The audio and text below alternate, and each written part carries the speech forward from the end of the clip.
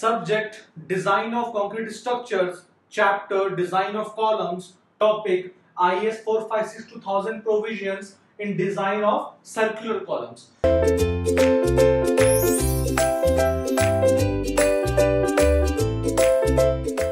So now students now we have started the first you can say the first actual topic of the this that is the circular columns right? So uh, i have told you that the, we have the three, you can say the design philosophy or three theories on which the design can be based. First one is the Euler's theory, second one is Rankine's, and third one is the IS 456 provisions, right? So what we will be doing in the concrete structures, whenever we will be designing the columns, we will be using the IS 456 provisions, right? Now in IS 456 also there are a lot of provisions even in column also, right? So what are the important provisions of IS 456? I will tell you, right? Whatever I am going to teach you, you have to, everything should be on your fingertips. Again, I am repeating, right? Because nothing will come apart from whatever I will be teaching you. Clear?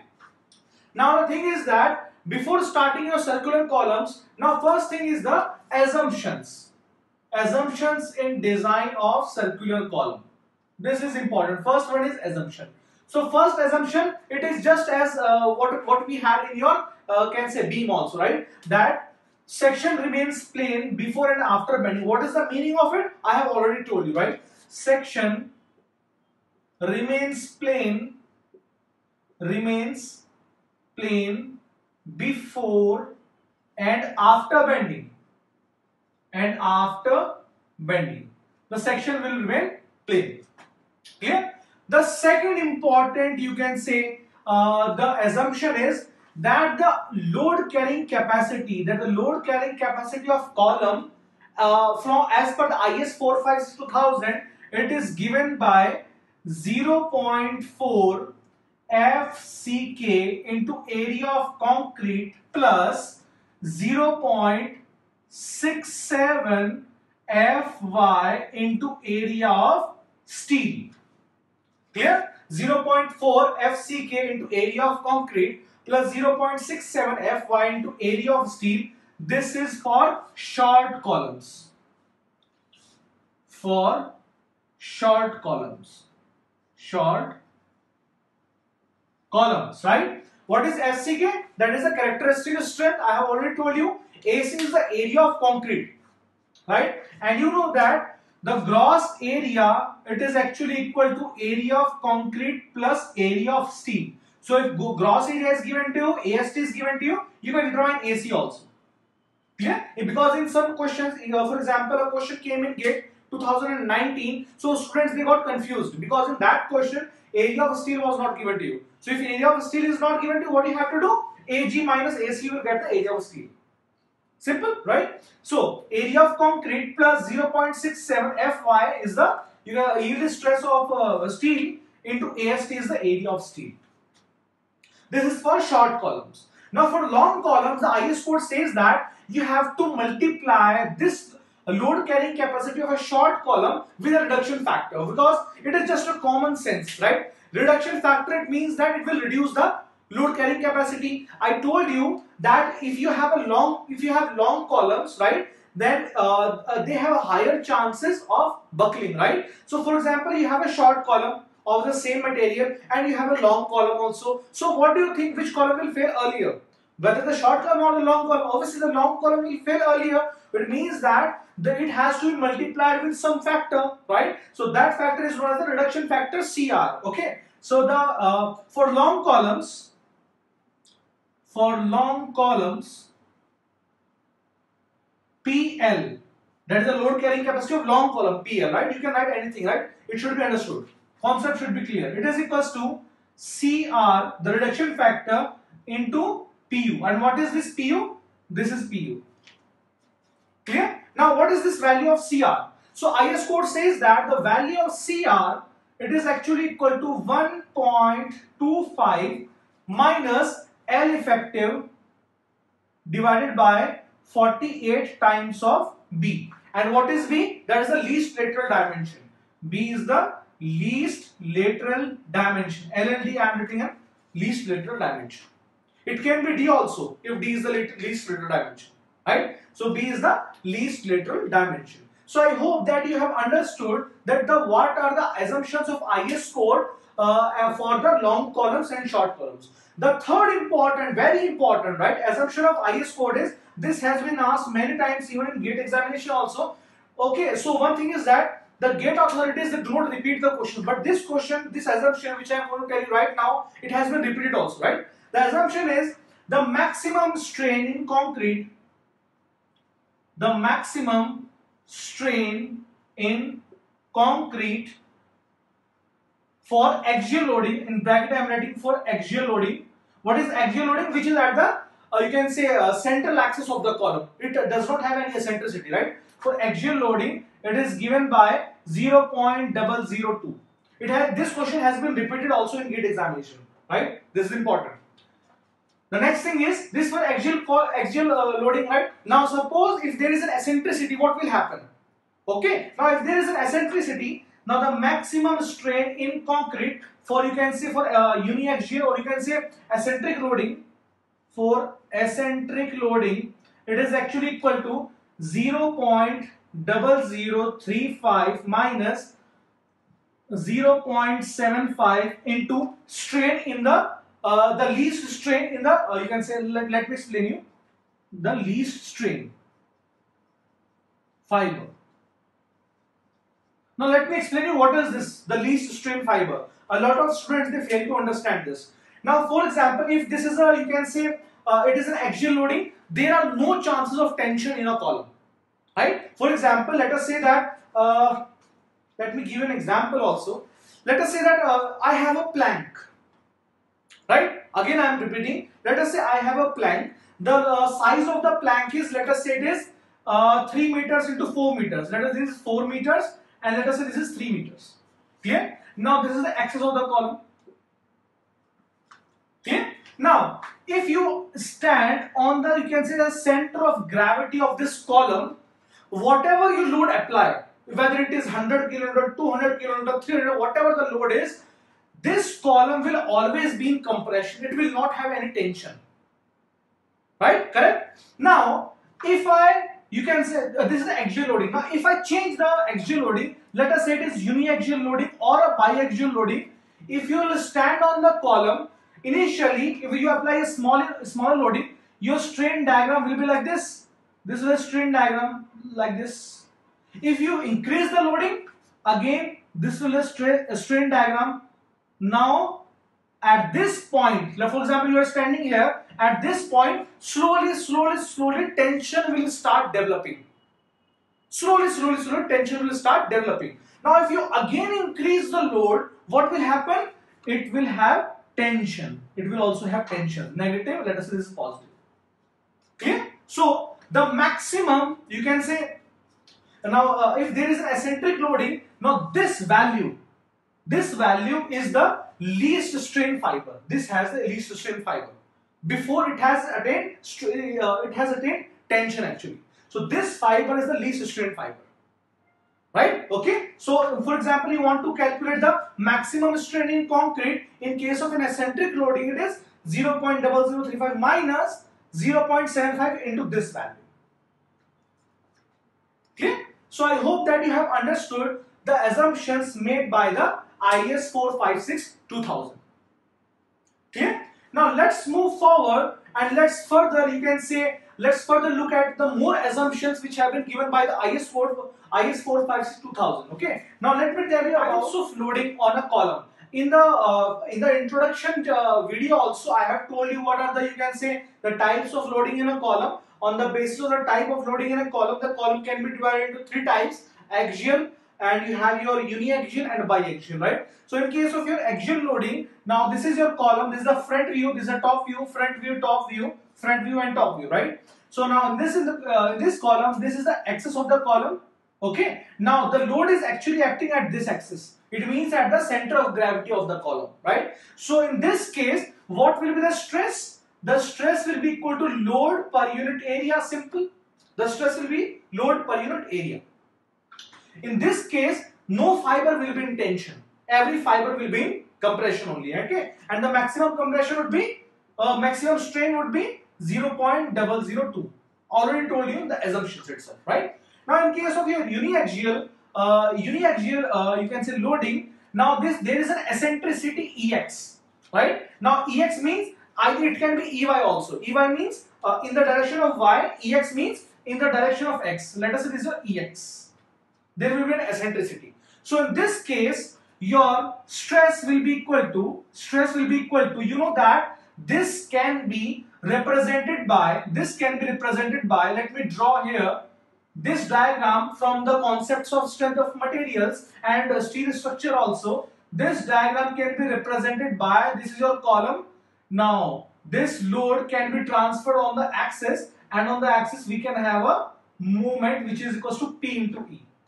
Okay? So the stress is first of all there will be direct stress. Direct stress will be equal to p per unit area and plus there will be some bending stress also due to this movement.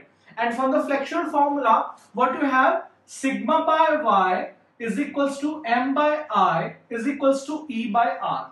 Now there is no need for e and r. We just calculate by this bending stress from m by and this, right? And you know that, let me do it here. Now sigma b will be equal to m into y by i or I can also write it like this. Sigma b will be equal to m upon i by y. And this term i by y, you must be knowing what it is known as Yes, correct. This is known as a section modulus, right? Z. So sigma b can also be written as m upon z. Clear? Okay. Now, how much is m? m is equals to p into e, right? So m is equals to p into e. p into e. And how much will be z? So z will be equal to i by y. i is equals to bd cube by 12 for a rectangle, right? For a rectangle, it will be equal to bd cube divided by 12. So b d cube divided by 12 and what is the value of y?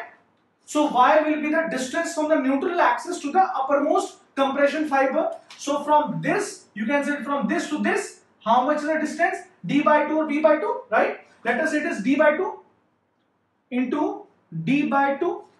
So what you will be getting? You will be getting sigma b will be equal to uh, p into e this 6 and goes up 6 pe BD, DD cancel, BD square. 6PE divided by BD square. Clear? Now let me rub it because I have done a rough work here. So let me rub it. So this is the only value which is useful. So now if the eccentricity at is at this point, so what do you think which fiber will be in compression? Obviously this fiber will be in compression. Clear? And this fiber will be in tension because this eccentricity will you can say uh, will have some tensile forces in it. Now let me make you understand. Let us say this is a column. This is a column. Okay, uh, this is a column and this is a top view of the column. This is the top view of the column, right? Now, if the loading, let us say this is a load, this marker is a loading, right? If the loading is at the center of this column, every fiber will be in compression. Simple. Clear? But if there is an eccentricity, let's say I, you can say I apply this load not at the center but at this end. So if I apply this load at this end, what will happen? This side will be compressive, this side will be compressed and this side it will be tensile. You, you know it is just coming out of the ground. It means there are tensile stresses. Simple. So this side has tension and this side has compression. It means that if I am taking compressive stresses positive, so this side will have negative stresses. Simple. Now, let me rub this because this was a rough work. This is only important. Okay. This was a rough work. So, sigma will be equal to P by A. I will write plus minus 6 PE divided by BD square. Why plus minus? Because if I am calculating the stresses at this point, it will be plus. If I am calculating stresses at this point, it will be minus. So why do I have two different formulae, right? Just merge because being an engineer, merge the formula, right? We have to be short also. So P by A plus minus 6P divided by BD square. This is the formula for uniaxial bending. Similarly, you can get the formula for biaxial bending also. This is a biaxial bending, but in this case, there is an eccentricity in this direction of EY and this also EX. So we have eccentricity in both the directions. So if we have eccentricity in both the directions, the formula becomes, now I am not going to derive it, the formula becomes the total stress will be equal to P by A, this is a direct stress, plus minus 6 PEX, if you're for X direction, divided by BD square, divided by BD square, plus minus, now coming for EY, for EY, what will be the moment of inertia? That will be IY. IY, then the moment of inertia, right? Let's say this is B, and let's say this is D. Small b, right? Small b, and let's say this is small d, right? So for this direction, for uh, EY, so we will have dB cube by 12, not BD cube by 12, dB cube by 12. I hope you understand what is the difference between IXS and IY. Yeah? Now plus minus 6PEY divided by dB square. So this is the formula for biaxial bend. So I hope that you have understood this formula.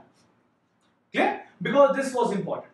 Because many times questions have been asked in many examinations from this and this. They are hardly uh, asking questions from this topic, but this is very frequent. Okay? Now tell me one thing. For example, let me take a zoom. Let me take this formula only. Okay? Let me take this formula only. What the students do, they just mug up the formula and they don't know how to apply the formula. Sometimes they do a lot of mistakes, right? So let me tell you how to apply this formula. Let me rub this. Let me rub this. Let me rub this also. To make you understand more clearly, let me rub this also. And I will make a, you can see a bigger diagram of the plan. The top view, I will make a bigger diagram of top view. This formula is there, right? Let us say that for the same column, now this is your plan. This is your small b and this is your small d. This is your xx, x direction or uh, x axis and this is your y axis. Suppose that the loading is here. Suppose that the load P is applied here. This is your EX and this is your EY. Clear? What students do is that uh, for uh, you can say you can to simplify it they just write it like this. Plus plus plus minus minus uh, minus minus minus plus and so on right? And suppose if loading is there they do a lot of mistakes right? So don't have to mug up the formula understand the concept actually. When to apply the positive sign and when to apply the negative sign let us say we have three sides uh, four corners a b c and d now you tell me if the load is here if the load is here which side will have the highest tension you tell me right a, B or C or D? Yeah, so a lot of you uh, must have given the correct answer. The answer is D. So if the loading is at this point, this will have the highest tension. Why? Because now I am compressing this. Obviously, for uh, the EX also as well as the EY also, they will they will contribute in tension. Let me make you understand by this duster. Okay, let us say that. Uh, uh, uh, actually it is not a big duster, right? Let us say that this is a top view. This is the top view. This is a rectangle. Top view, right? This is your, uh, let us say this is your A, this is your B, C and D. Now if the loading is at this point near B, if both, if it is at this point, which, uh, which point or which side will lift? If you press this, this side will lift up, right? It means that the D point will have the highest tensile stresses. It's a basic simple concept, right? So I am writing it here. If you want to calculate the stresses for point D, for this corner D, it will be equal to P by A minus 6 Px by BD square minus 6 PEY divided by dB square. Simple. Now coming to this point A and point B. Clear? Now what do you think? Which one will have the effect of tension and which one will have the effect of compression? Now if I talk about this point, you can say the A point. Now this uh, load that is P is acting here. I can transfer this, I can transfer the moment here, I can transfer, uh, tra transfer the load let us say P here and this moment P into EX here and for this I can transfer the load P here and P into EY moment here. So you know that this P into EY moment it is generating a tension force for this point and this this you can say P into Ex moment at this point, it is generating a compressive force for this point. So for you can say for A point, it will be P by A, right? Even if you have not understood, just apply your common sense that if I will stand at this point and on the plank, what will happen? Ex will contribute to compression and Ey will contribute to tension, simple, right? So it will be equal to P by A. Uh, for Ex it will be compression plus 6Pex divided by BD square and it will be minus 6Pey divided by dB square. And so on you can get for B also B for B it will be both positive. And for C it will be negative and it will be positive. Simple. No need to mug up the formula plus plus plus minus and minus plus something like that. Clear? So I hope that you have understood the concept of uh, the biaxial loading in case of your concrete columns. Now let's move forward and let me tell you which are very important thing that the IS code provisions about the reinforcement in uh, circular column uh, in this uh, columns right? So now let us uh, uh, let us uh, let me tell you about the this is not circular columns right? Column just column because circular column I will be teaching you now let me tell you about some other IS code provisions about the reinforcement. Now let us understand the some other IS 456 2000 provisions on columns, right? The first is about the minimum eccentricity. Now let me tell you, even if you're designing a column, right, there are some chances that in future, let us say uh, you have, uh, let us say you have calculated some data and has been found that there are no chances of an eccentric loading, right? But suppose in future some earthquake comes or some vibrations are there, if now there are some chances of eccentricity, the column will fail if you have not taken into consideration the minimum eccentricity simple, right? So obviously we have to design our columns for minimum eccentricity also. The IS 456 says that if you are designing a column, then the eccentricity in x direction, it should always be greater than L naught upon 500. Now what is L naught? L naught is not effective length, that is the unsupported length, right? So L naught is unsupported length. unsupported length plus b by 30 b is the least lateral dimension right?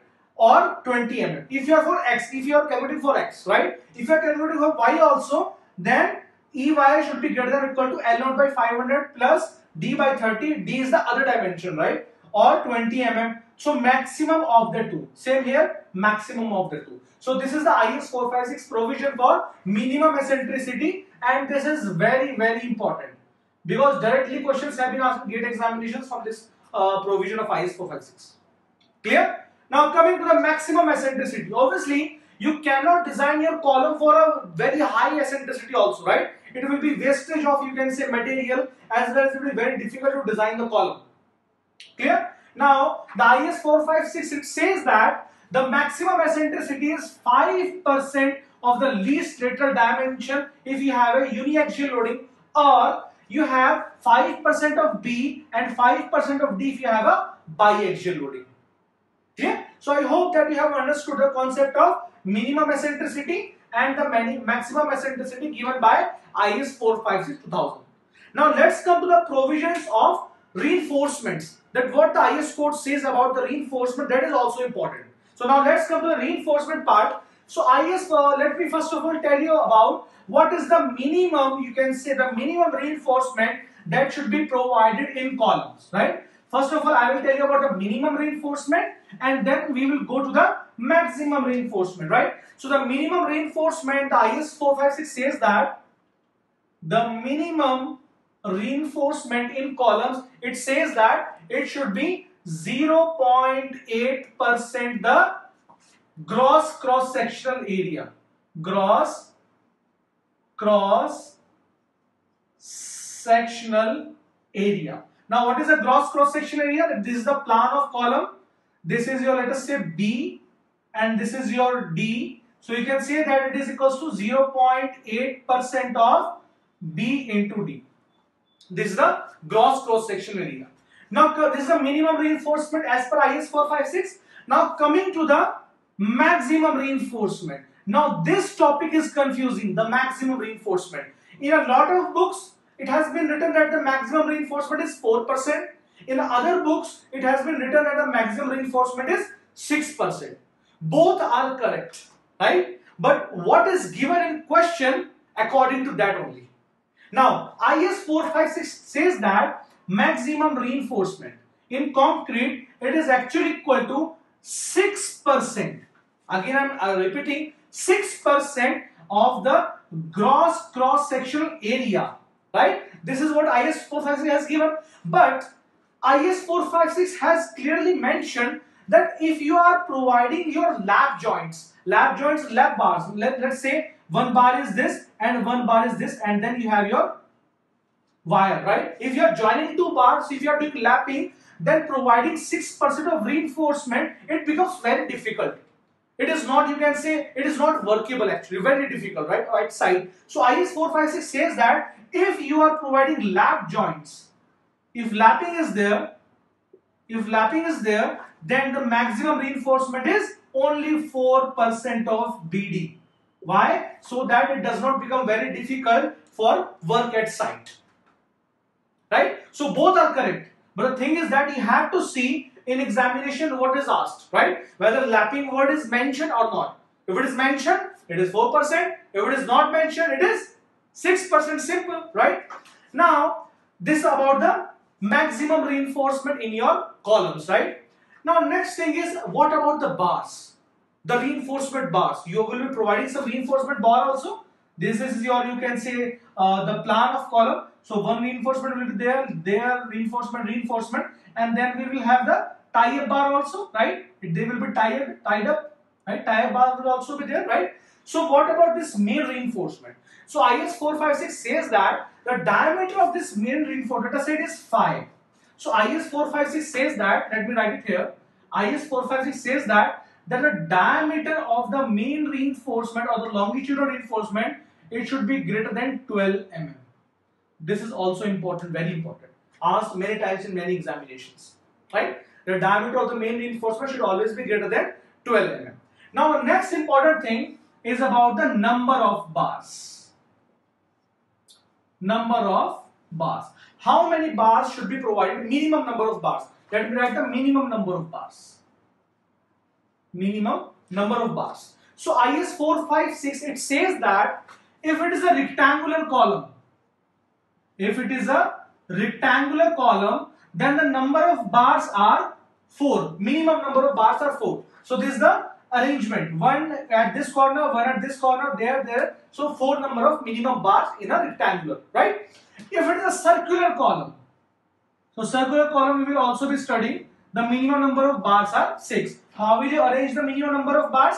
1, 2, 3, 4, 5, 6 and there we have the helical reinforcement. What are the helical reinforcements? I will be explaining you when I will be teaching about the circular columns. Right? So minimum number of bars in case of your uh, this uh, circular is 6. Clear? Now let's come to this ties. These are our ties. Ties means that they tie the reinforcement. Right? They join the reinforcement. They do not allow the main reinforcement to go here and there. So they tie the main reinforcement. Clear? Now IS 456 it says that that the diameter of the ties it should be equal to now coming to ties. Diameter of the ties phi of ties it should be equal to phi by 4 what is this phi? That is of longitudinal main reinforcement. Diameter of the main reinforcement or 6 mm. Right? Diameter of the main reinforcement or 6 mm whichever is maximum. Whichever is maximum. This is also important. The diameter of the uh, ties should also be known to you. How much should be the diameter of the ties? Clear? Now the next important provision IS 456 or already you have provided ties. Now what should be the spacing of the ties? For example, this is a column. This is a rectangular column. Let me take my duster. Let's say this is a rectangular column. Clear? It has longitudinal reinforcement. Let us say 4 reinforcement. 1, 2, 3, 4. We have ties also. Now what should be the spacing of the ties? Right? So let us see about the spacing of the ties. So I am rubbing it. I hope that you have noted it down. This is very important, right? Because directly questions have been asked from this topic directly, right? No need to apply much concept if you have learned the this IS 456 provisions, it becomes very easy. And that is why a lot of students find uh, RCC very difficult because they are not able to remember it. You can't just mug up the formula. You should you should have the uh, visualization. If it is a rectangular bar 1, 2, 3, 4, then only it becomes very easy for you to learn the formula also and learn the IS code uh, 456 provisions also. Clear? Now coming to the spacing, spacing of ties. Now next thing is the spacing of ties. Spacing of ties, right? So IS 456 says that that the spacing of ties should be 300 mm or 48 times the, let me write it, 300 mm or 48 times the diameter. Now this diameter is of the lateral ties. Lateral ties or it is 16 mm of 16 times the diameter of the main reinforcement. Whatever is maximum. Whatever is maximum. Sorry, minimum. Sorry, minimum. Whatever is minimum. Minimum of these three. 300 mm or 48 times the diameter of the lateral reinforcement or the 16 times the diameter of the main reinforcement. Whichever is minimum of the three will be the spacing of the ties. Clear? Now come to the, I told you that the columns, you can say pedestal is also type of column. Strut is also type of column. So that is also important. It has not been asked in gate examination about pedestal, but in some other examination it has been asked. So it can be asked in your gate examination also that the minimum reinforcement minimum reinforcement in pedestal. In a pedestal, it is actually equal to 0.15% of B into D. 0.15% of B into D. Now B into D is of pedestal, not for column, right? So with this, these dimensions are of pedestal, not of column. Clear? Now the next important uh, IS 456 provision is about the slenderness slenderness you can say slenderness uh, limits right slenderness limits now what is slenderness that is the effective length upon the least uh, you can say least lateral dimension and in some other in some books also it is also known as the radius of gyration right? So lambda is actually equal to l by r where r is equals to under root of i by a. You must have done this in stereo structure also right? But in concrete that is l effective divided by the least lateral dimension.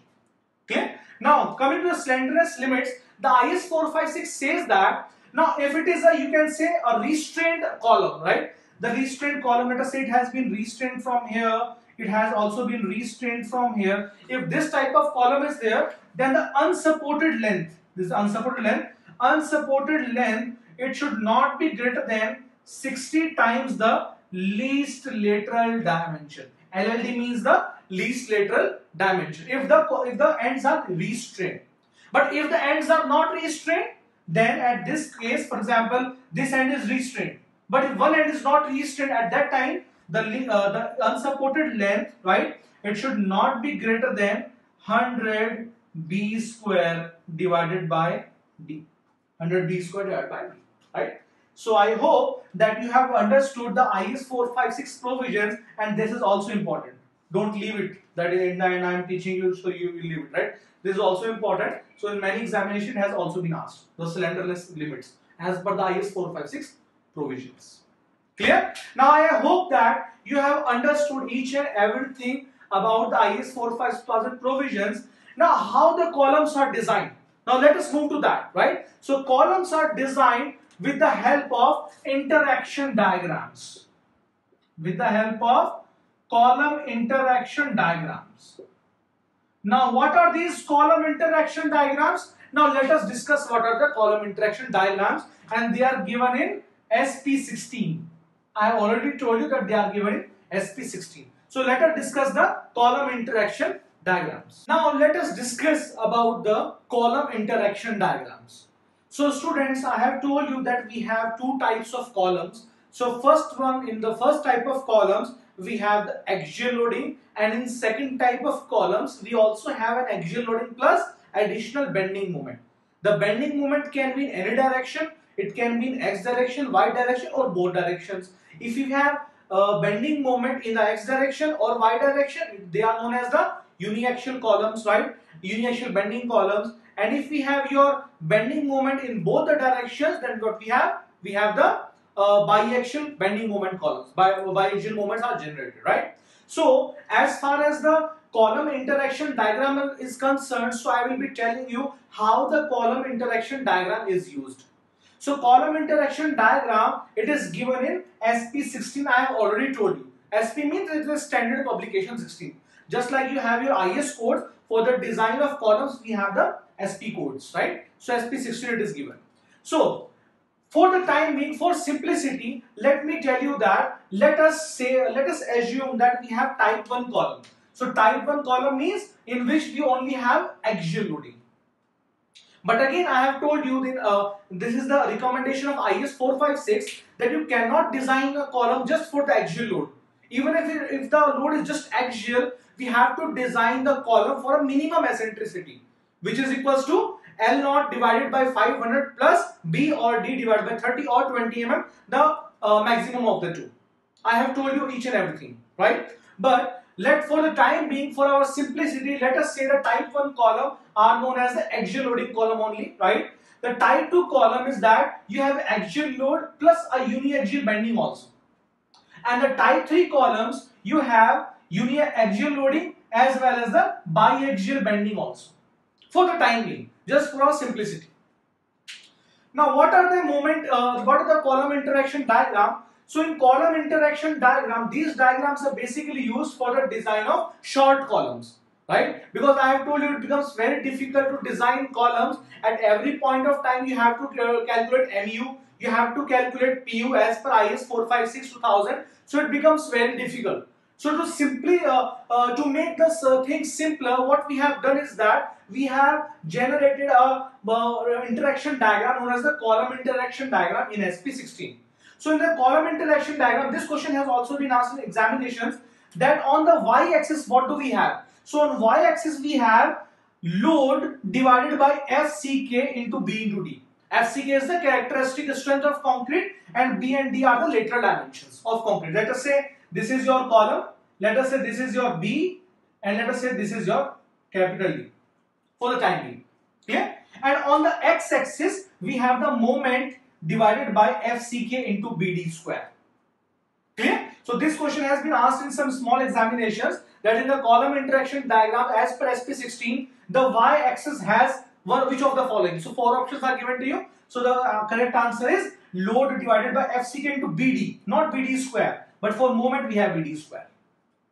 Clear? Now if you look at the SP16, so you will have an interaction diagram like this. Further, first of all it is decreasing uh, for the load as well as the uh, increasing for moment. But after some time, after this point, it is decreasing for load as well as the moment. Now what, is, what is this? Let me explain you. But first of all, the interaction diagrams have been, uh, have been you can say divided into three zones. This is zone 1, this is zone 2 and this is zone 3. Zone 1 is also known as the minimum eccentricity zone.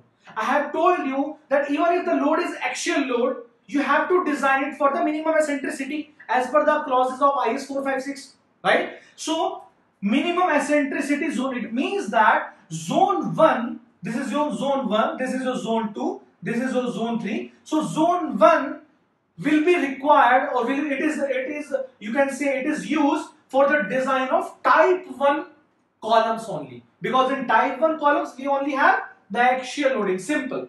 So you can say that it is for type 1 only. Clear? Now coming about the zone number 2 zone number 2 is known as the compression control zone.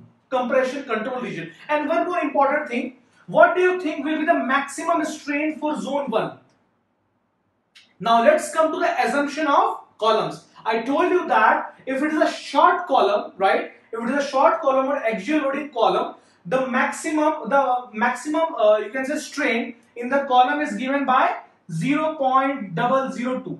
So in zone 1, the maximum strain in the compression fibers will be 0.002. Coming to the zone 2, zone 2 is also known as the compression control region. And in zone 2, the maximum strain, I told you if you have an axial loading, plus you also have bending. Because in this case, you will also have bending here. So this zone is basically for 2 as well as 3. So let me write it for type 2 plus type 3. For type 2 as well as for type 3. Clear? And I told you that in zone 2, in these types of columns where you have an axial load as well as some bending, it can either be a uniaxial bending or it can be a biaxial bending. The, uh, the strain is given by 0.0035 minus 0.75 of the uh, least strain. For the time being, let's say least, least strain is given by epsilon L. For example, this is your column. These are the reinforcements. Okay. So if there is some, you can say eccentric loading. So the interaction, uh, the strain diagram would be like this. Like this. This is your 0.0035. Clear? This is your minimum eccentricity. Let's say this is epsilon L. So 0.0035 minus 0.775 uh, times of epsilon L. Clear? So I hope that you have understood this. Clear? Now coming to your zone 3. Zone 3 is also known as a tension control region. Now you must be asking sir, why the graph is not like this? Uh, compression and tension. I have already told you that for the time being we are compressing our uh, column up to that limit only that we that the tensile stresses are not getting produced.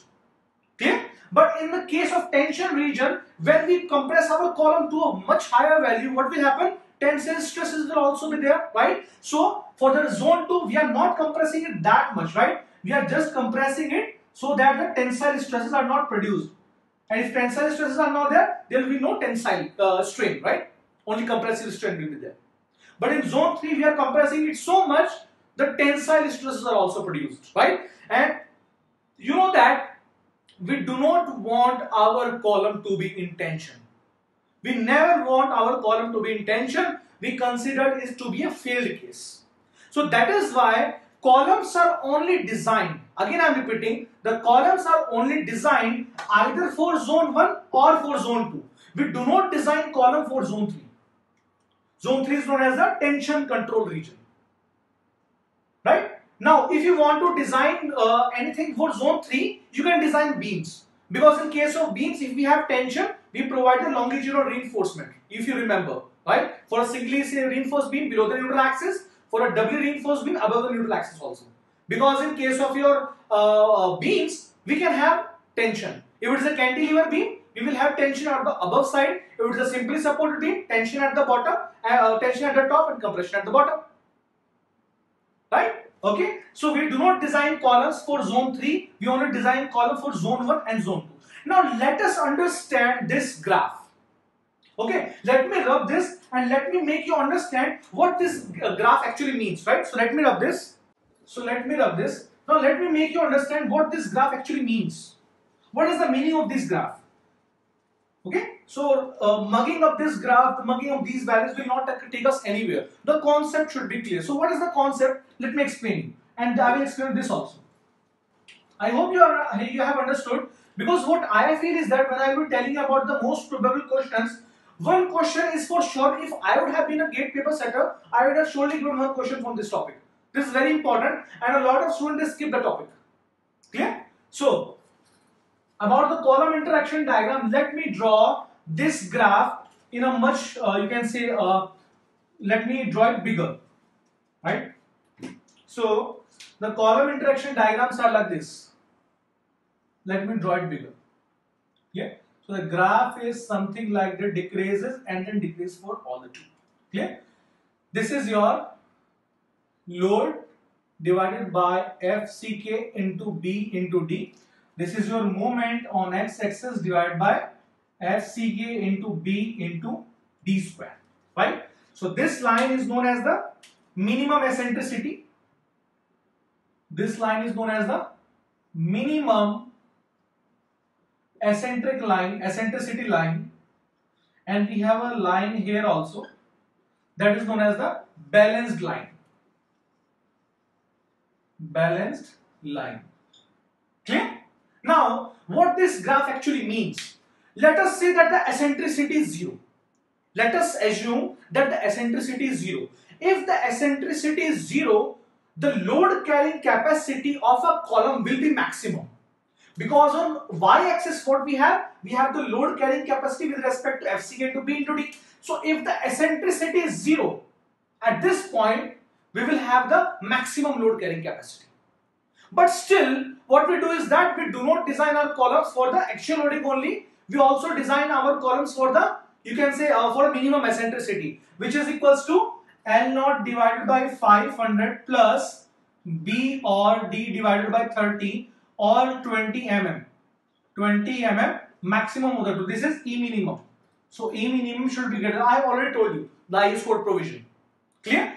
So if you are designing this uh, column for this point, this is the point of the minimum eccentricity you can see. Clear? It means that in this zone only type 1 columns are designed.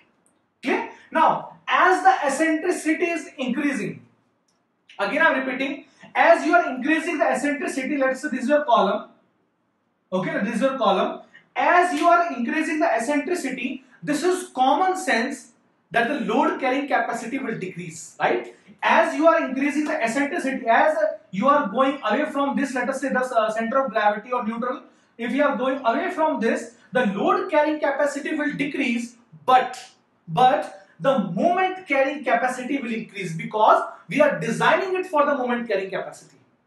Clear? So as you are going as you are uh, increasing the eccentricity, so eccentricity is being increased, the load carrying capacity is decreasing, but the moment carrying capacity is increasing. Right? It will continue to happen, happen, happen, same thing up to this point, the balanced point. Now after the balanced point, if you apply much load, uh, if you just increase the eccentricity, apply much load, the tension will start happening. Right? Then tension will start happening and if in your column tension starts happening, the moment carrying capacity will also decrease and the load carrying capacity will also decrease. So if both are decreasing, the column is of no use. Right? Why do we design the columns? We design the column, either it should have a very high load carrying capacity or very high moment carrying capacity depending on the centricity, right? If the column does not have the load carrying capacity as well as the moment carrying capacity, what is the use of that column? Simple. Clear? So, we design our columns for zone 1 and zone 2 only. Now the question is, sir, how to determine the eccentricity from these interaction diagrams? Very simple. So the, from the interaction diagrams, uh, you must be knowing that eccentricity is actually equal to mu divided by pu. Simple. Because pu into e gives you mu. So if in interaction diagrams, let us say you get your value of mu somehow and you also get your value of pu, just divide the values, you will get the eccentricity. We will also show one numerical also on, on the basis of this. This is important. Okay. And IS code says that.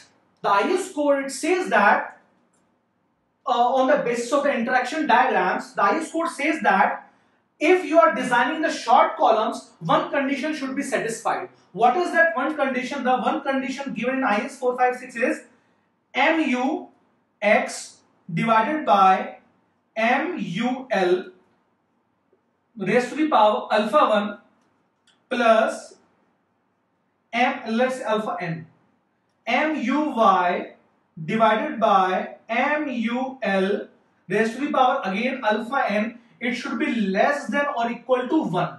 So this is the condition which the IS 456 says that it should be satisfied. Now what is this MUX and MUL? Now let me explain you. Now I am let's say uh, let me rub this right. It's of no use now. Now let me explain you what is this actually MUX and MUL. Okay. So let me write it again here.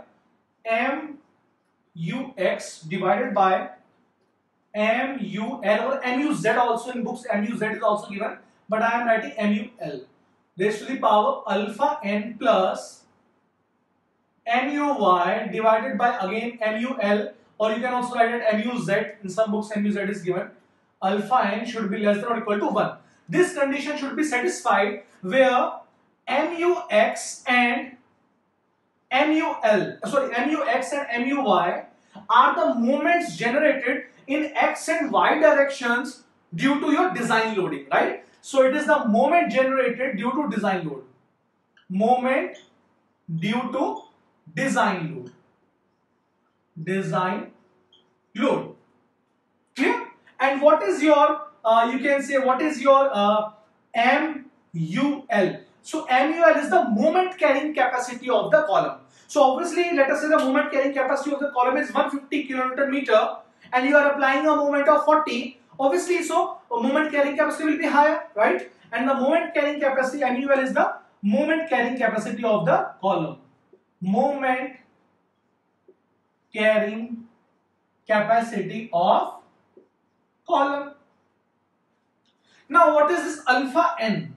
So alpha n is basically a constant and its value depends upon the ratio of PU divided by PUZ. What is PU? You already know. I have told you that in IS 456 it is given to you that PU is equals to 0.4 FCK into area of concrete plus 0.67 Fy into area of steel. I have already told you. Clear? Now, as far as the PUZ is concerned, the IS 456 says that PUZ is actually equal to 0.45 FCK into area of concrete plus 0.75 0.75 Fy into area of steel. This is the value of PUZ as per the IS 456 2000. So what is important whichever I have told you this is important because this condition has been asked many times in examinations. That which which of the following conditions should be satisfied. Sometimes in option is given greater than 1, sometimes this not equal to no uh, option is not given to you. So the correct uh, uh, correct answer would be this thing. Simple, okay? Now if you look at the SP16, if you look at the SP16, you will be getting interaction diagrams, right? But you will not be getting a single interaction diagram which I just drew. There will be a lot of interaction diagrams, lot of interaction diagrams, right? That is why the students are not seeing the SP16 because it is very complicated, right? So what is this a lot of interaction diagrams?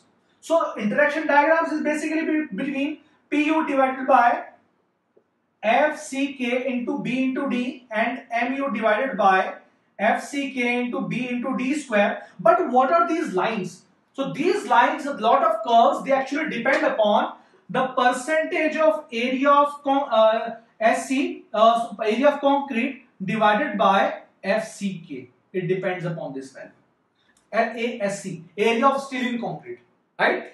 Percentage of area of steel in concrete divided by FCK. So this question has also been asked in examinations that the various curves as per the SP16 are derived for, uh, from, right? They're derived from percentage of area, or percentage of steel in concrete divided by FCK or AST also you can write. Okay, the concept should be clear. Okay, so I hope that you have understood the significance of your, you can say the uh, column interaction diagrams. Clear? So I hope that the design of columns as per the IS 456 is clear to, clear to you. Now let's move forward and let us solve a few numericals so that they can further strengthen our concepts and we feel much comfortable in this, uh, in this very easy topic. So let's move forward and solve a few numericals. Thank you.